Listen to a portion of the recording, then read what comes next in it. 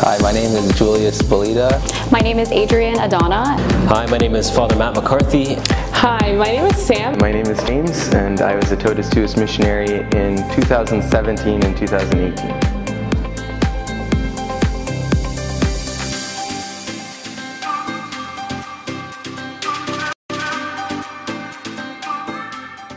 I loved my experience as a Totus Tuus missionary for a variety of reasons.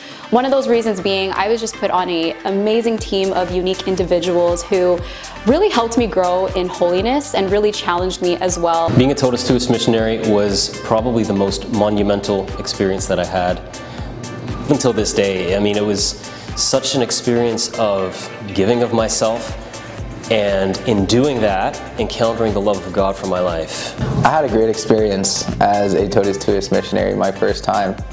Uh, it was a lot of fun, got to meet a lot of people, a lot of young Catholics whom I admired and was able to really grow with. And so I had a great time. I was really stretched. My experience as a Totus Tuus missionary was kind of everything rolled into one. It was joyful, it was fun, I loved bonding with my team.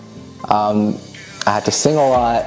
There's a lot of playful fun, but at the same time, uh, the spiritual aspect was an amazing experience. In my experience as a Totus Tuus missionary, I really believe that the Lord allowed me to flourish in my gifts.